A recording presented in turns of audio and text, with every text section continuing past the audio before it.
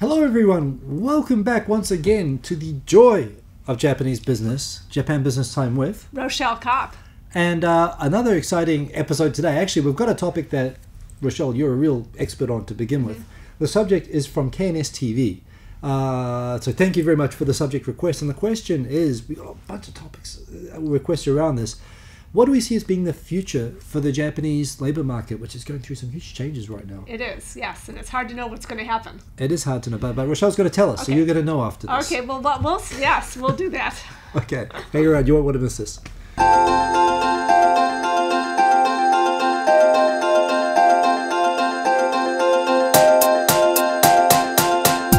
Of the dramatic changes, many changes that are going through the Japanese economy at the moment, um, maybe nothing bigger in terms of impact on society. Uh, as big as the aging society, uh, or, or bigger, is the change to the whole fundamental changes that have been happening probably since Koizumi, probably since about 2002, mm-hmm. Right, to the whole employment framework in Japan. right, exactly. So maybe we should start out and talk about what it was traditionally. Yeah, well, Okay, traditionally Japan had the Shushin Koyo Seido, which is the lifetime employment system or custom, so to speak, where the majority of people worked for the same company for their entire career. Mm. And so this led to a lot of stability, and you didn't have people running around and switching jobs, you didn't have companies laying people off, and everything was very kind of picture perfect and nice, or people would like to believe it was, anyways. So that was the traditional setup. and this was based on, particularly post-war, you have to understand labor unions in Japan and socialism. I mean, socialism in Japan was very strong. Yes. And Japan very nearly, under MacArthur, very nearly democratically became communist at one point.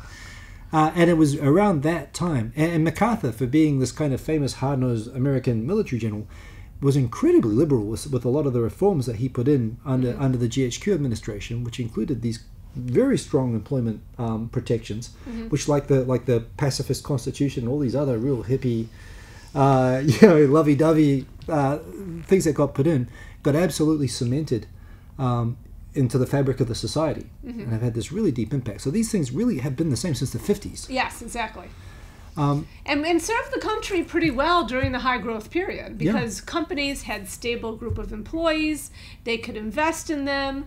People could feel that sense of belongingness to a company and so it kind of played on deep you know themes in japanese society and everyone kind of liked it. And the thing is things are now changing and we'll talk about that. Yeah. but i think a lot of people still see that was the ideal and want it to still be that way.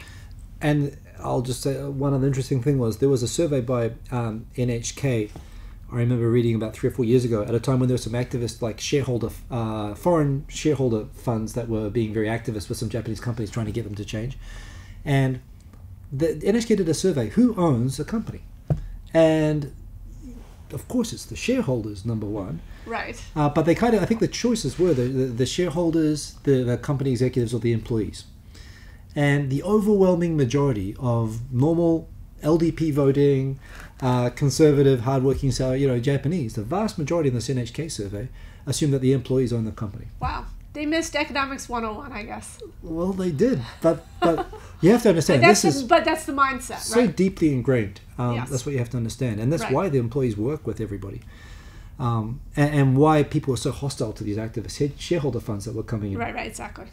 So, so let's talk about the changes. Well, Okay. w- w- si- it's pretty much since Koizumi came in. What were the problems that they wanted to address, and and what are the changes that are, that are happening now? Well, the big the big downside of having this stable group of employees is that they become a big fixed cost. Yeah. And you can't let them go and then things change and you don't need this group of people. What are you going to do with them? And Yeah. you get crazy things like the steel company mm-hmm. that doesn't need to make as much steel in Japan anymore. What is it going to do with all the people who make the steel? It opens an amusement park and they go work at the amusement park. Right. I mean, really, that literally happened. So that's the, it, you. That they- sounds great. yeah. For the steelworkers, maybe it was a good deal, but you know, the idea is that the companies would have to sort of you know Yeah. turn themselves inside out to Yeah. find ways to utilize the employees they have. But as the global economy, the the winds of change blew into Japan as hmm. you know tariff barriers fell and, and more economic integration with the rest of the world. It's becoming harder for Japanese companies to hmm. maintain these large fixed costs. It's hmm. so inflexible.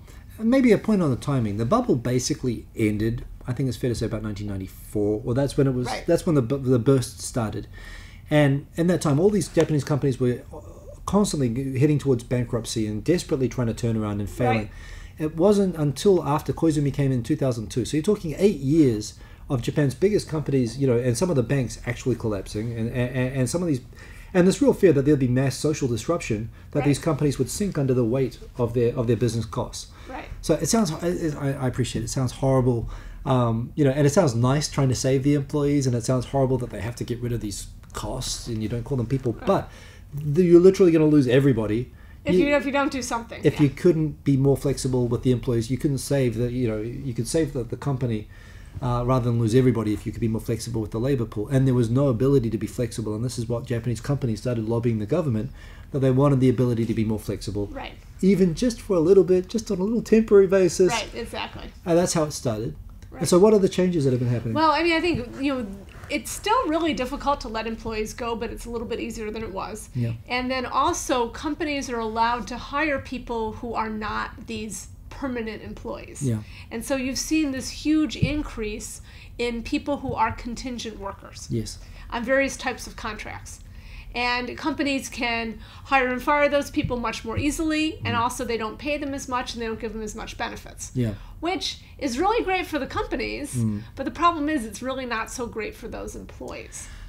And it, it has some social, as you know, impacts as well. Really that, big coming through. social impacts because those people tend to not get the same training as the permanent employees. They don't get established in a career, they don't make as much money, Mm. and then a lot of them don't get married and they don't have children. Yeah. And so long term, it's actually really not good for Japanese society. Mm. So, at least in my opinion, that probably wasn't a really good way to address this because what they were trying to do is let's preserve the traditional system, but then like have some people who are outside it. Yeah. But then you get this two tier thing Well, that, that just it. just really destroys people's motivation and it's um, not using well those people who are in, in the contingent group. And what's really started to happen as well, this system was, was sold to the public by the government as this is just going to be for a small, like no more than 10% of the workforce and for, you know, for, for allowing a bit of fluidity, a bit of uh, flexibility. And it got way out of hand. and it's already at 45% of new Right. employees. And it's not that they're, it still isn't possible to fire the lifetime employees or it's pretty, it's very, very difficult to do so. Um, but because of, in a way, again, it's, it's like it's like the same problem in Europe. It's because of these, you, you know, protected employees. Um, That you have other ones who don't get a good deal. Yeah, it is very much like what you get in Europe. Actually, Yeah. it's a similar problem. It's, it's the new hires get the get, get the bum end of that, where a lot of companies are not even hiring you know full employees anymore. They're hiring everyone in these contracts, Right. and it is creating this generation of young people who. Well, it's got two really interesting impacts. The first is the one that you said that people don't have the they don't feel they have the economic security to make the lifetime steps that society relies upon. Right. Um, the other is that they are not as, anywhere near as committed to the companies that they're joining. Um, Right. you, you joining a company in the old days was marrying that company. Your, your Right. whole family, you're expected to marry in the company. You're Yeah, expected to. yeah, exactly. Now, you know, you, why would you for a company that's not giving you any sort of protection or anything, anything like that? Why would what would Why would you care? You don't have, and, and actually, one of the big things that I write about a lot is low engagement in Japanese firms. Well, Yeah. you know, you're not going to be engaged when you feel like you're being treated by dirt, Yeah. like dirt, right? Well, but there's an interesting turning point that's also happening with this now, which is that um, I've read something how a lot of these contracted workers actually feel, and I've seen blogs and so on being written about this in Japanese now. They actually feel that they're in the better position, Interesting. and this is a, this is kind of a turnaround. Uh, but it's because they have this flexibility, and well, one because they're cheaper than the regular employees. They're actually safer, and they're less likely to come under pressure. right. Because the company wants to expand the number of Right, them, right, yeah. um, and you know having this sort of freedom which people didn't think they had before um, it is making it is having this this effect of having making the labor market more fluid which was the overall goal and the thing is there are people in government now who are saying now out loud which i'm sure they were thinking back in 2002 but now Uh-huh. they're starting to say out loud hey maybe it should be 100% Right, right. Well, and that's the thing, and that that, and, and that's what I'm thinking. That there, sh- you should probably just throw out the old system and put in some system where everyone has some sort of flexibility. Yeah. That would maybe be a little bit more like the U.S. employment at will. Yeah. But the thing is, is I, I wrote an article where I talked about that on the Japanese Huffington Post. Yeah. You would not believe the people who went crazy. Hey. Yeah, like because that's is- a sacred cow. Like people, everyone aspires to be that seishain, Yeah. the permanent employee. Don't take that dream away from us. It's really people are very emotionally committed to that. Well, that's a sacred zone. That's Article Nine of the Constitution. It's, it's guns in America. Frankly, it's you know you don't mess with lifetime employment. It is Uh, kind of like that, but the problem is it's going to strangle the economy. The, the, the system right now is so. Companies are just so distorted around the labor laws that they have Mm. that it's just the distortions are, are, are, are tying the economy in knots, basically. Yeah, and the, whole, the fact as well that the, the system it relies upon uh, renewal. It relies on hiring new employees with people going out at 65, and that there is this kind of travelator as well.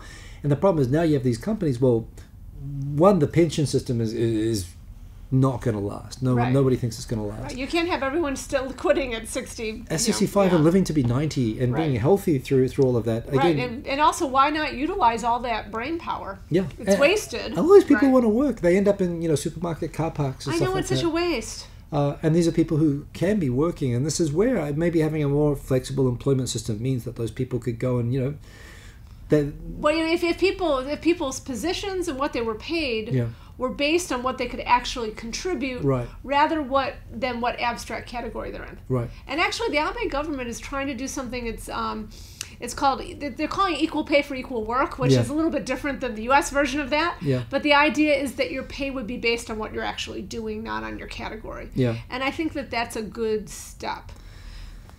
It's ups a and tricky downs. one. It is a tricky one because of course people view that with suspicion. At the same time, they see this is a way just to lower everyone's pay. Well, well, that's the problem is that, that everyone is very.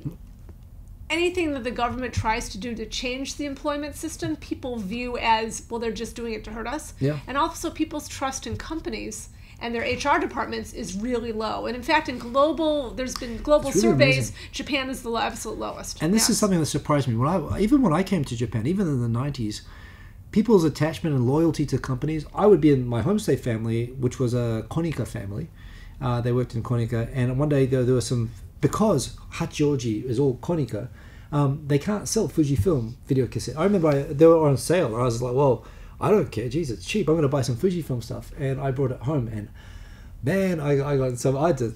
I think I had to throw them. I wasn't allowed to show them in the living room. I, I got I got Oh, some real wow, interesting. so people used to be so loyal, and I, I, I assumed I was taken aback by seeing how disconnected Japanese have become on, on loyalty to their own companies. Right, right, and and then and that goes on to all sorts of other problems of Japan's productivity is very low, P- you and, and all the things I actually I write about. We're not going to get into it now, but it's it's a huge issue, right? It is, it is. So- and so- we should probably wrap this one We up. should wrap this one up.